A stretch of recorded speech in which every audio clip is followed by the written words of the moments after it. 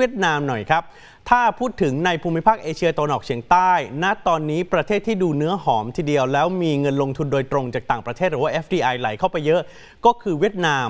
มองว่าณปีนี้ FDI เวียดนามอาจจะโตมากกว่า 10%ด้วยกัน หลักๆ มาจากปัจจัยทางด้าน เขตการค้าเสรีที่เวียดนามตอนนี้ไม่รอช้าละครับเขาก็เร่งเครื่องในการไปจับมือกับทั่วโลกด้วยครับเรื่องนี้ทางการของเวียดนามก็ออกรายงานสถิติการลงทุนโดยตรงจากต่างประเทศ ดู 10 เดือนแรกครับมกราคมถึงเดือนตุลาคม 2565 มูลค่าการลงทุนอยู่ที่กว่า 17,000 ล้านดอลลาร์สหรัฐ เพิ่มขึ้น 15.2%เมื่อเทียบกับ 10 เดือนของปีที่ผ่านมา พบว่ามูลค่าการลงทุน FDI ของปีนี้ 2565 นะครับเหลืออีก 2 เดือนครับ น่าจะอยู่ที่ 22,000 ล้านดอลลาร์สหรัฐ เพิ่มขึ้นเมื่อเทียบปีต่อปีจะอยู่ที่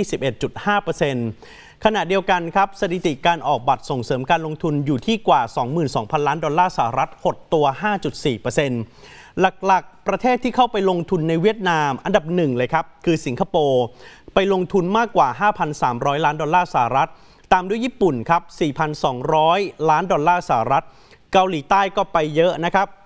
3,900 ล้านดอลลาร์สหรัฐ แล้วเราก็ทราบกันดีว่าเกาหลีใต้มีโรงงานของซัมซุงแล้วก็แบรนด์เกาหลีที่ใหญ่ที่สุดอยู่ในเวียดนามนะครับโฮจิมินห์ซิตี้คือแหล่งที่ดึงดูด FDI ได้มากที่สุดในเวียดนาม ปัจจุบันเวียดนามมีโครงการ FDI มากกว่า 36,000 โครงการ คิดเป็นมูลค่ากว่า 435,000 ล้านดอลลาร์สหรัฐ มีนักลงทุนจากร้อยประเทศทั่วโลกเข้ามาลงทุน หลักๆเลยครับที่นักลงทุนเขามองว่าเวียดนามมีเสน่ห์ดึงดูดก็คือสิทธิประโยชน์ทางการค้า เพราะว่าทางการเวียดนามไม่รอช้าครับสำหรับการเข้าไปเป็นหุ้นส่วนทางเศรษฐกิจภาคพื้นแปซิฟิกหรือว่า CPTPP แล้วก็ไปจับมือกับทางสหภาพยุโรปครับเขามีความตกลงเปิดเขตการค้าเสรี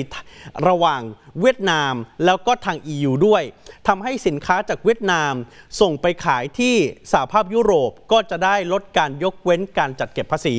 ปัจจุบันเวียดนามมีข้อตกลงการค้าเสรี 16 ฉบับครอบคลุม 54 ประเทศทั่วโลกครับ บทวิเคราะห์ก็มองว่าทำไมเวียดนามถึงเป็นทางเลือกของนักลงทุน อันดับที่ 1 เลยครับเขาเป็นพรรคคอมมิวนิสต์พรรคเดียวเสถียรเสถียรภาพทางการเมืองเขาค่อนข้างนิ่ง อย่างที่ 2 ก็คือโครงสร้างประชากรวัยทำงานของเขา เขามีแรงงาน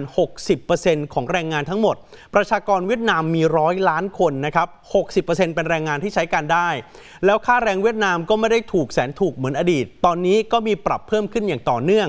รัฐบาลเขาก็พยายามที่จะดันค่าจ้างขั้นต่ำขึ้นด้วยครับ เพื่อให้แรงงานเขามีกำลังในการบริโภคมากขึ้น ที่สำคัญเวียดนามก็ออกกฎหมายในการบริหารจัดการเขตอุตสาหกรรมและเขตเศรษฐกิจ มีเขตเศรษฐกิจใหม่ ๆ เกิดขึ้นตลอดนะครับเพื่อที่จะรองรับการลงทุนจากต่างประเทศ และที่สำคัญกฎหมายและข้อเสนอของเวียดนามก็ค่อนข้างจูงใจนักลงทุนด้วยครับ ขอบคุณที่ติดตามรับชมรายการเศรษฐกิจ Insight นะครับ ฝากคุณผู้ชมกด subscribe กดกระดิ่ง กดไลค์ กดแชร์ทุกช่องทางออนไลน์ของ TNN ช่อง 16 ด้วยนะครับ เพียงเท่านี้คุณผู้ชมจะไม่พลาดกับรายการสด และคอนเทนต์ดี ๆ ที่เรามีเสิร์ฟให้คุณผู้ชมตลอดวันครับ